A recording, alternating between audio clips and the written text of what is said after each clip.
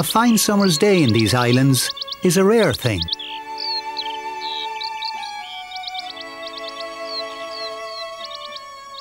One of the reasons for their rarity is the great gift of water, borne by rain. Water that eventually finds its way into streams and ponds.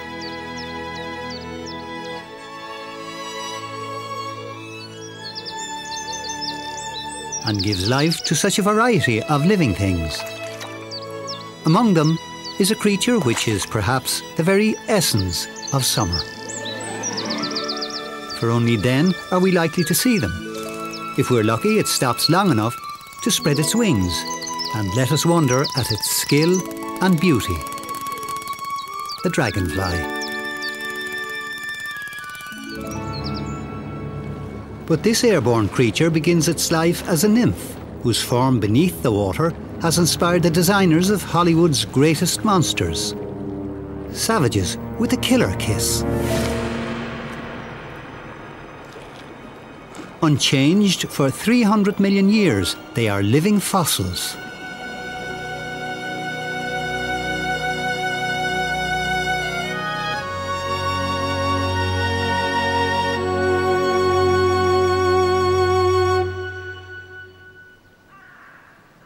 Although dragonflies hunt in woods, preying on other insects, it is by the water where they mate and breed that we normally get to see them.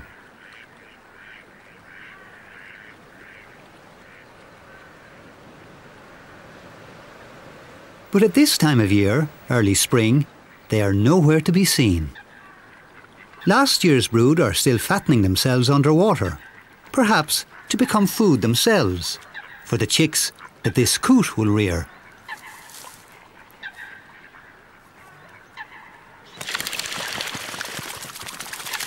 For food and family are the two driving forces here, forces that will shape territories and boundaries so that mating can begin.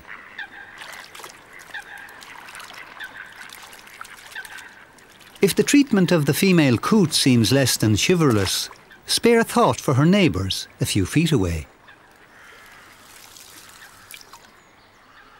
Scores of male toads will attempt to mate a much smaller number of females.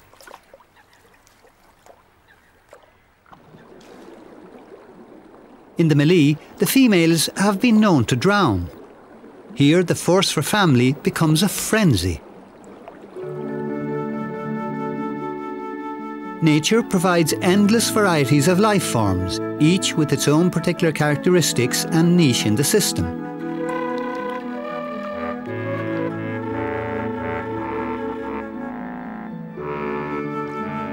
A freshwater pond, on close examination, has as much variety as any cosmopolitan city.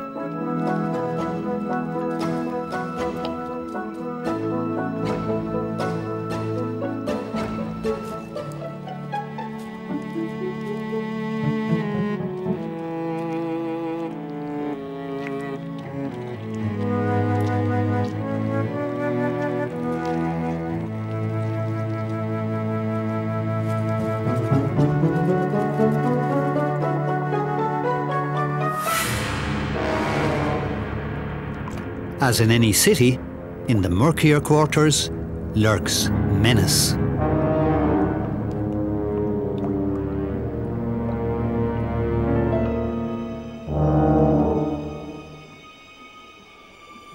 This stickleback has strayed down the wrong alley. As deadly as any switchblade are the dragonfly's killer lips, impaling their victim on two grasping hooks the nymph's abdominal breathing system, extracting oxygen through its gut lining, pumps constantly.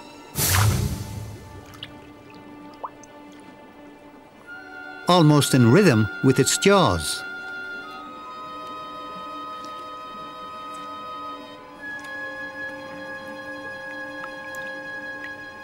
Each successive victim hastens the day the nymph will grow large enough to escape the pond.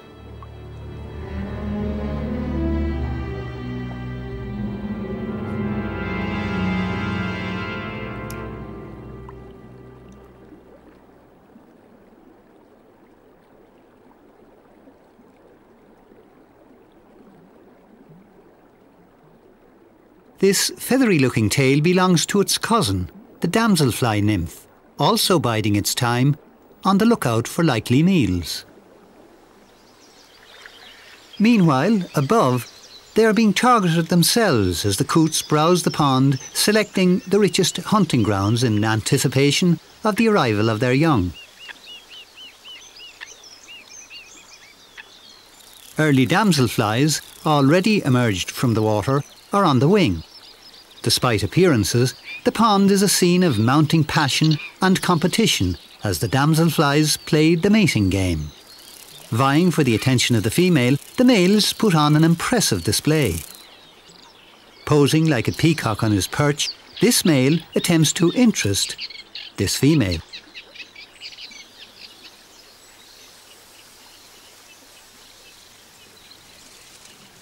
This time he was successful and they lock in a romantic embrace.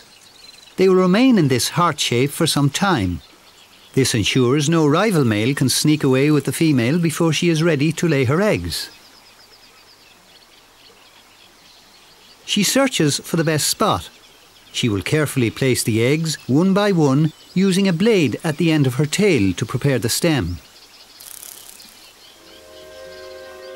She does this entirely submerged, watched over by her partner. Exhausted and vulnerable, her nuptial bliss came to a sticky end. But the mission is complete. The next generation are on the way.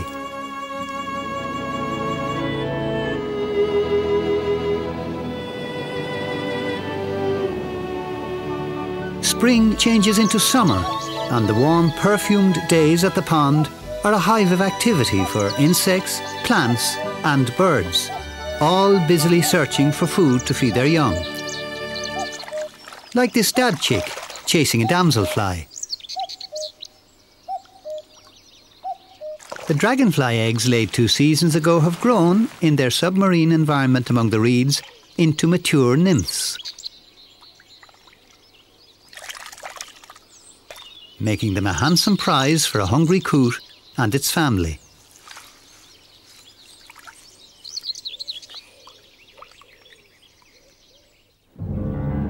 Despite their reputation as aerialists, the years spent underwater constitute the majority of the dragonfly's life. This nymph has now been in this pond for nearly two years. Having fed well over the last few months, it is as big as it's going to get. It will not feed again until it is on the wing. No longer able to breathe through its gut, the hawker nymph's body begins to change, preparing for a life breathing air.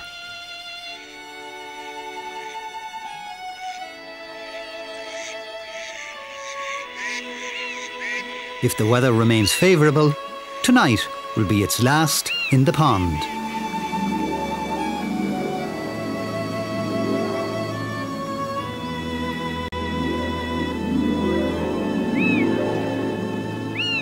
Under cover of darkness on a still evening, a miraculous change is about to take place. As the nymph emerges from its aquatic home, it is slowed as it is forced to carry its own body weight for the first time. It uses spurs to grasp the sedge grass and haul itself towards the next stage in its life. If danger threatens, the nymph can still beat a hasty retreat to the safety of the pond.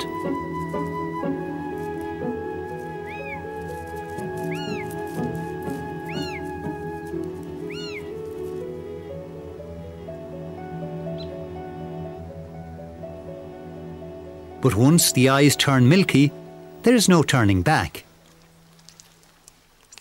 The nymph inflates its thorax, splitting its old skin. First, the head comes free. Then, segment by segment, the body emerges from the old skin.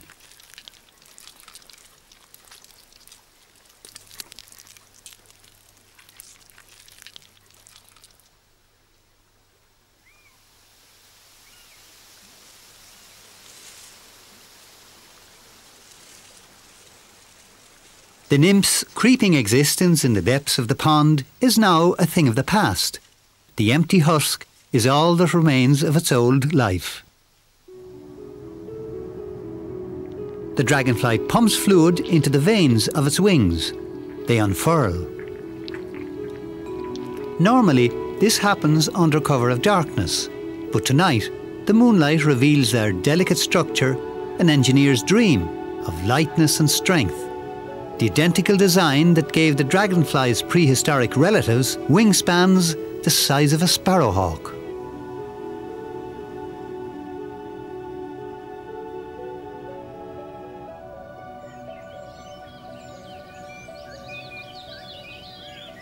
In the cold morning air, the dragonfly will exercise an ability that it shares with us the ability to generate heat.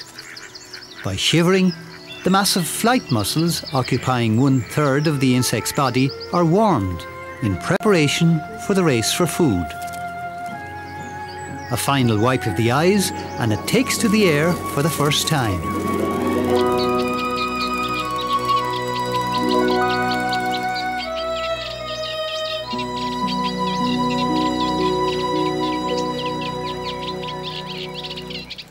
Dragonflies are fiercely territorial once they've claimed a patch of waterway. They patrol regularly, looking out for prey which are taken in flight. This watery fiefdom affords the male dragonfly plenty of opportunity to pursue the females. Dragonflies are amongst the fastest and most agile of insects. They can fly backward, turn as if on a pivot, and even somersault in combat. They have been clocked at 35 miles an hour and can carry more than double their own weight in flight. A feat unmatched by any man-made flying machine.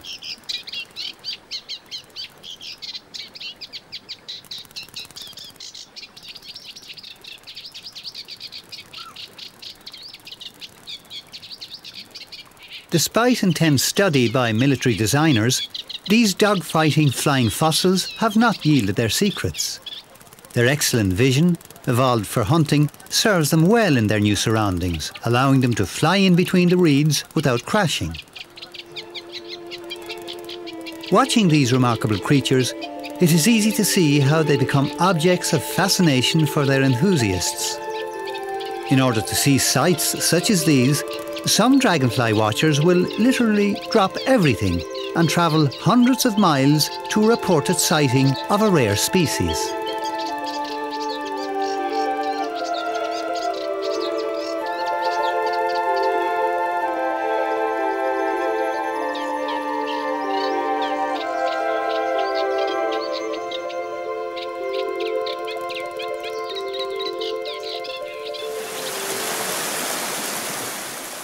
Fast flowing rivers are not the usual hatching place for the hawker dragonfly.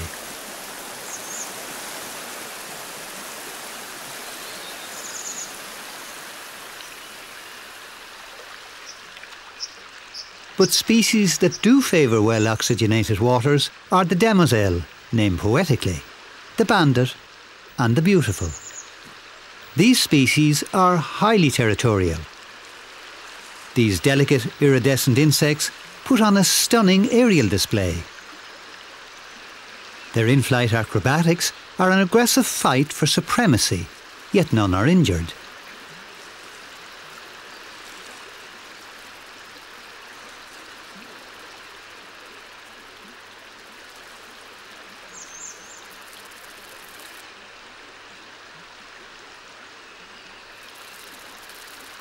These dueling dancers assess each other's right to mate by judging skill on the wing. Disgraceful behaviour, avoiding physical contact, allows the loser to dance again unscathed.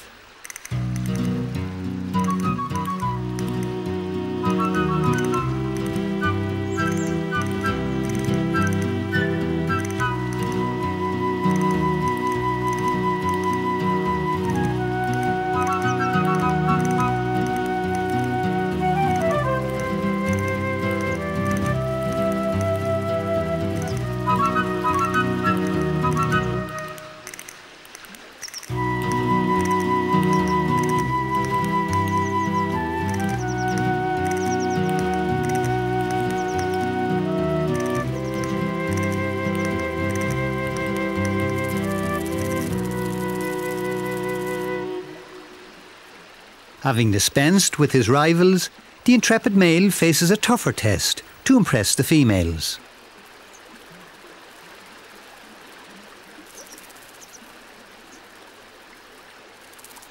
Could a strong backstroke be enough to win him the adoration of a mate? Recklessly throwing himself into the torrent, this amorous male is demonstrating that this is the spot to lay.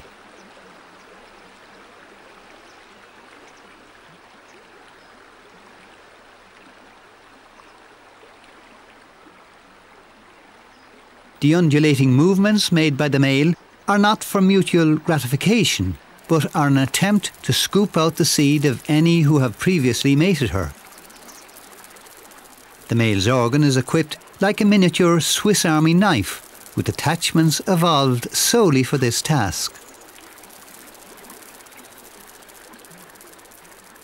His paternity is not yet assured. He keeps a vigil over the female, ensuring that no rogue males intrude.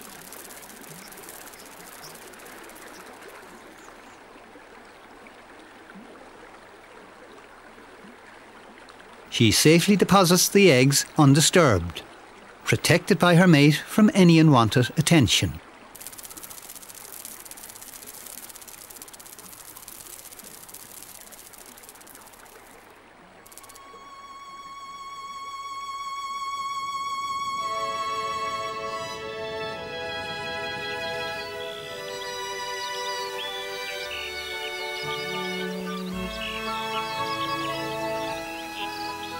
The long hazy days of summer encourage the normally reclusive grass snake out of her hiding place to bask in the warming rays by the pond.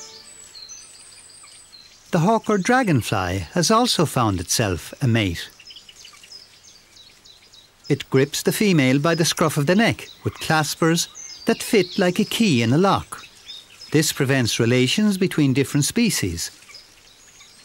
But before the male even gets started, he transfers sperm from a reservoir to his sexual organ at the base of the abdomen. The female wraps her legs around him and bends her body under his. There, she collects a little packet of sperm. The eggs embedded in the stems of water plants usually hatch after two weeks. What emerges from the egg is rarely seen. A maggot-like creature which, after hatching, burrows out of the stem and molts immediately into a fully functioning miniature nymph. Vulnerable with its shell still soft, many are consumed by passing fish, toads and mature dragonfly nymphs. Cannibalism is a real danger. To a large nymph, a small one is just another meal. Horrific sounding, this behaviour is an efficient way of ensuring that if food is short, at least some nymphs will grow to maturity.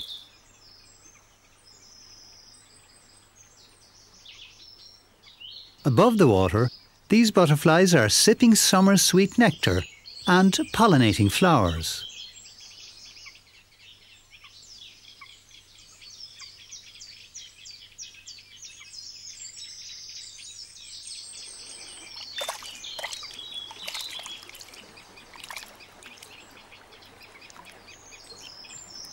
Coots, which nested earlier in the year, now have two healthy chicks who are in constant need of food. Adult dragonflies and nymphs are a rich source of protein for the rapidly growing young.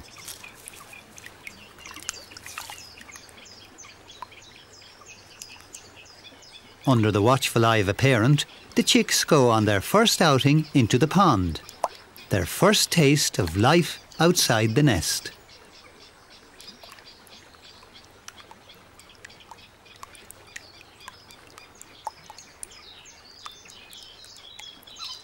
Despite the summer warmth, this is a brief foray for the chicks, as their thin, immature plumage is a poor insulator and they could easily catch a chill. She carefully wipes the water from her own feathers on returning to the nest so she can better warm her chicks.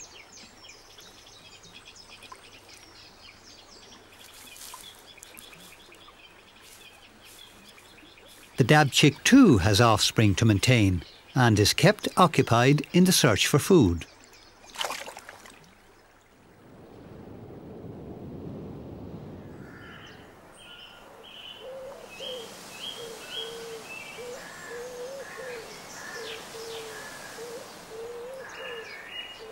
Summer is drawing to a close. As the plants prepare for the coming autumn, the darter is the last of the dragonfly family to mate and breed.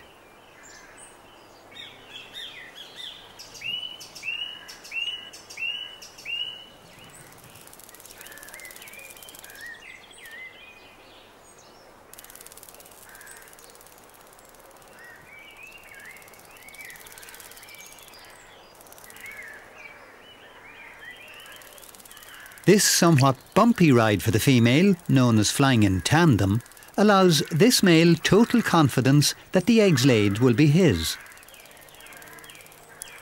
While others that we have seen are content merely to stand guard, this controlling male does not let go until he has seen his eggs safely deposited in the water.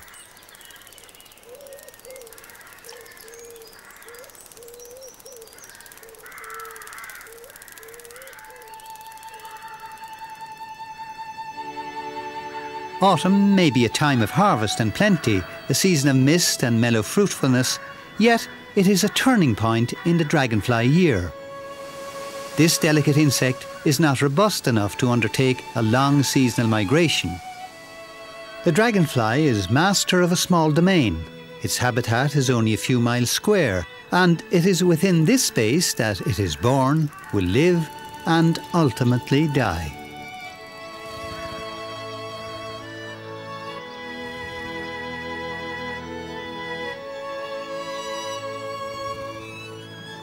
Unlike the swallows, the dragonflies do not head south to overwinter in warmer climes.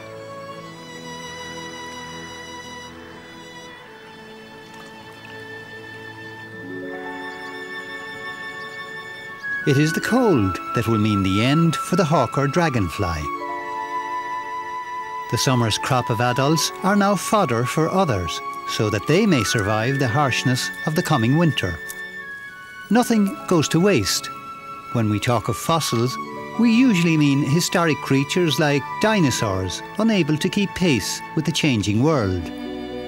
The damsels and dragons have seen them all come and go. They are still here, one of nature's longest running success stories.